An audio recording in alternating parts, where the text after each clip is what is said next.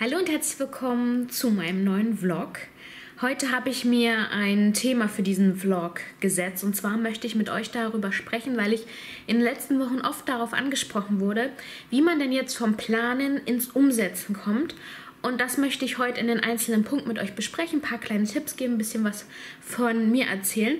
Mein Internet macht gerade ein bisschen Probleme, deswegen kann ich das ähm, gerade ein bisschen angehen, weil ich gerade eh nichts am PC machen kann. Und äh, deswegen würde ich sagen, starten wir auch erstmal mit dem ersten Tipp, den ich da habe, wenn man nicht da, ja, wenn einem irgendwie so der letzte hm, fehlt, um seine Pläne, seine Ziele dann auch wirklich umzusetzen. Prinzipiell finde ich es schon immer richtig cool, wenn man jemandem von seinen Vorhaben erzählt. Wenn man das nämlich einmal erzählt hat, werden die Leute auch wiederkommen und danach fragen, wie es läuft, was du schon gemacht hast. Und dann bist du Rechenschaft schuldig. Und ähm, beim ersten Mal sagt man vielleicht, mm, ich habe doch noch nichts gemacht. Dann bekommt man vielleicht noch mal einen Arschtritt von demjenigen. Und beim zweiten Mal willst du aber nicht nochmal sagen, oh, ich habe noch nichts gemacht. Dann willst du was vorzuweisen haben, wenn er dich wieder fragt. Und dann baut sich so ein bisschen so ein Druck auf. Noch nicht doll. Druck ist ja immer nicht so eine gute Sache in dem Fall. Aber so ein ganz kleiner Druck, dass du demjenigen was erzählen möchtest, ähm, wie du weitergekommen bist, was du gemacht hast. Deswegen finde ich es immer cool, jemandem davon als, zu erzählen, was man plant. Wenn man jetzt zum Beispiel plant, man möchte mehr Auszeit für sich nehmen, erzähl es doch mal einer Freundin. Vielleicht kommt ihr sogar da zusammen dazu, das dann zusammen umzusetzen. Oder wenn du ähm, irgendein anderes, größeres Ziel hast, vielleicht auch beruflich, ist es auch immer gut, jedem davon zu erzählen. Weil irgendjemand kennt wieder jemanden, der dir helfen könnte. Also es ist immer gut, von seinen Zielen, von seinen Träumen, von seinen Wünschen, von seinen Vorhaben zu erzählen. Zum einen, weil sich da gute Connections ergeben, aber zum anderen auch, weil du dann damit nach draußen gehst. Das ist so der erste Schritt.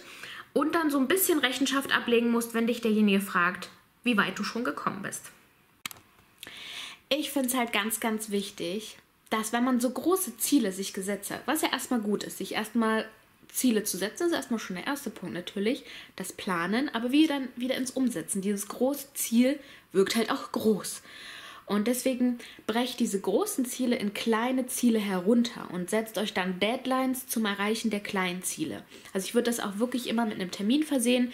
Bis da und dahin möchte ich dieses kleine Unterziel, nennen wir es mal, erreicht haben.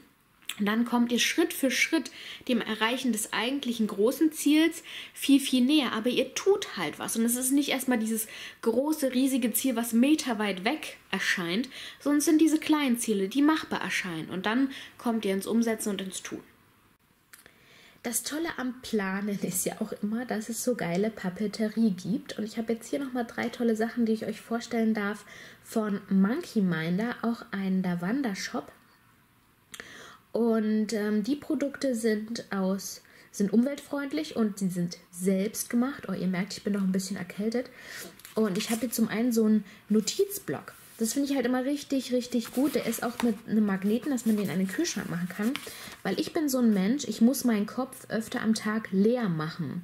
Und dafür sind Listen halt auch ganz, ganz gut, dass ich Sachen einfach aus meinem Kopf rausschreiben kann, nennen wir es mal so. Das wäre zum Beispiel super für eine Einkaufsliste beispielsweise oder irgendwas anderes, wenn dir sowas in den Kopf kommt, was du irgendwann mal machen musst oder wen du anrufen musst, dass du das schnell auf so eine Liste schreibst und dir im Haus verteilt solche Notizblöcke hinhängst, wo du es immer mal raufschreiben kannst und dann holst du dir mal wieder so einen Zettel und organisierst das dann ein bisschen besser in deinem Kalender beispielsweise.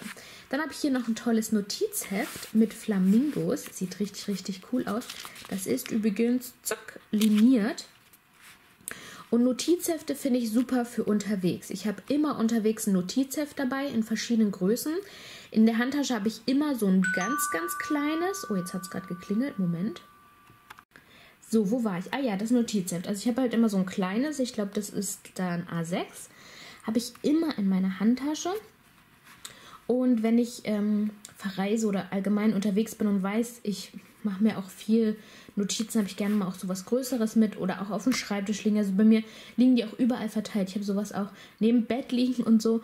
Eben aus demselben Grund eigentlich, wie ich auch hier schon gesagt habe, um sich Sachen aus dem Kopf zu schreiben. Ich habe auch mega viele Hefte. Eins ist zum Beispiel für Videoideen oder so Ideen für den Podcast oder andere Sachen oder Wenn ich ein Buch lese, habe ich auch öfter mal ein Notizheft daneben legen, gerade wenn es ein Ratgeber ist, um mir Sachen aufzuschreiben. Also Notizhefte habe ich immer. Und ich liebe das, wenn die halt schön aussehen, ähm, weil es dann einfach noch mehr Spaß macht. Und das hier ist ein ganz, ganz toller Kalender. Der ist wesentlich dünner, ist auch wie so, ein, wie so ein Taschenbuch gemacht, als die anderen, die ich euch bisher gezeigt habe.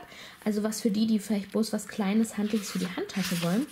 Und der ist auch super, super schön gemacht. Hier könnt ihr euch nochmal Kontakte und sowas hinschreiben. Hier habt ihr so einen Geburtstagsplaner, finde ich auch immer gut, weil ich sowas nie im Kopf habe. Und so sieht dann zum Beispiel ein Monat aus. da finde ich die Auflistung hier super schön. To-Do natürlich. Myself. Super, super wichtiger Punkt. Sollte man jede Woche unbedingt was für sich eintragen. Dann, wen man anrufen muss, wen man zum Beispiel eine Mail schicken muss oder wen man trifft. Oder kann man auch so reinschreiben, was ich halt auch so schön finde, dass du sagst, okay, einmal in der Woche möchte ich mit dem und dem telefonieren. Oder einmal in der Woche möchte ich mich mit einer Freundin treffen und in dieser Woche ist das halt die und die oder so, ne? Das finde ich halt immer schön. Und jeder Monat hat ein anderes Design hier. Also gefällt mir auch richtig, richtig, richtig gut. Das ist schön, oder? Super schön. Und was mir auch noch gut gefällt, hier hat man natürlich noch mal Platz für Notizen, aber hier My Plans for 2018, My Plans for 2018 and My Plans for 2019. Dass man dann, da kommt einem ja noch ganz, ganz viel so im Laufe des Jahres, oh, dieses Jahr schaffe ich das nicht mehr, aber nächstes Jahr möchte ich das, das, das und das machen. Und das finde ich halt richtig, richtig, richtig cool. Ähm, genau, da könntet ihr zum Beispiel euch am 1.1. oder so hinsetzen und eure Pläne fürs aktuelle Jahr aufschreiben und dann zum Ende des Jahres ähm, schreibt ihr dann die Pläne fürs neue Jahr auf. Also der gefällt mir auch richtig, richtig gut. Diese drei Sachen sind wie gesagt von Monkey Minder. Den Lavanda-Shop verlinke ich euch auf jeden Fall unten in der Infobox und ich liebe die Sachen. Hallo von der Mittagspausenfront. Auch noch etwas, um ins Umsetzen zu kommen, sind Pausen und Belohnung. Also das heißt dann nicht nur tun, tun, tun, tun, tun und irgendwann habt ihr so viel getan, dass ihr irgendwann keinen Bock mehr habt oder die Motivation runter ist, sondern auch bewusst dann auch mal Pausen einlegen und aber auch sich belohnen. Gerade wenn ihr dann diese kleinen Zwischenziele erreicht habt, belohnt euch für das Erreichen der kleinen Zwischenziele. Und das kann auf ganz unterschiedliche Art und Weise passieren. Entweder durch ein Stück Kuchen, neues Paar Schuhe, ähm, einen Yogakurs oder weiß der Kuckuck, auf was ihr halt Bock habt, aber belohnt euch gerade auch für das Erreichen der kleinen Ziele. Das finde ich auch super wichtig.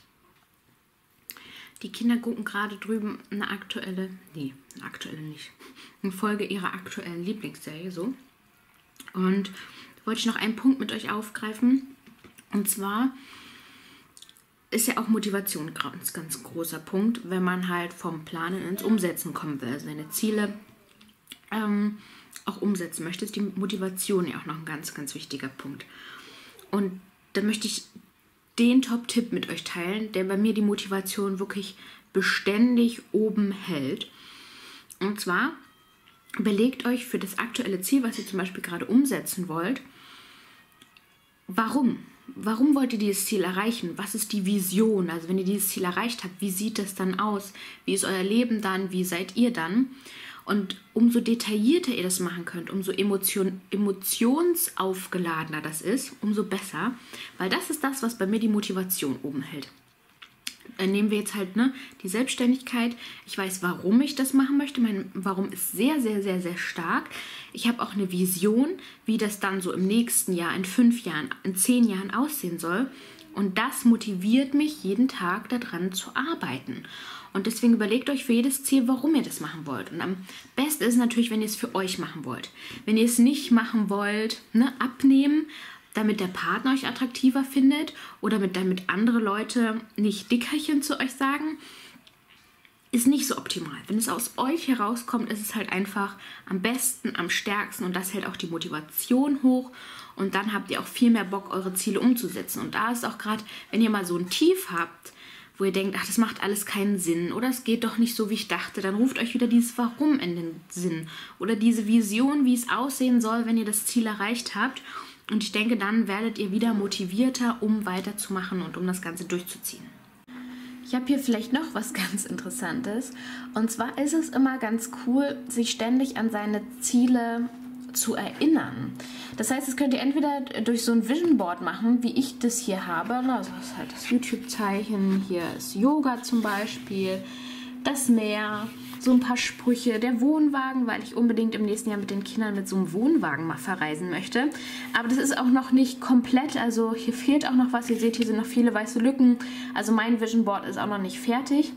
Halt so ein Vision Board kann ich empfehlen oder so Post-its, wo euer ähm, Ziel halt wirklich so in ein, zwei Worten beschrieben ist und diese Post-its hängen halt überall in eurer Wohnung verteilt oder Bilder von euren Zielen, wie beispielsweise das. Und das habt ihr vielleicht als Desktop-Hintergrund oder auf eurem Handy oder, oder, oder, oder, oder. Also, dass euch Bilder oder so Post-its halt wirklich ständig auch an eure Ziele erinnern und ähm, ja, dass ihr, dass, dass euch das quasi wie verfolgt. Und auch solche Bilder sind halt wirklich gut. Die brennen sich in euer Unterbewusstsein ein und das Unterbewusstsein merkt, hm, okay, das ist irgendwie wichtig. Ähm, und ja, ich glaube, das steigert so ein bisschen auch die Motivation. Ich hoffe, dieser etwas andere Vlog hat euch gefallen. Es waren ein paar Tipps für euch dabei, die ihr eventuell umsetzen wollt. Dann schreibt mir das super gerne in den Kommentaren. Und wir sehen uns ganz bald wieder beim nächsten Mal. Bis dahin, tschüss!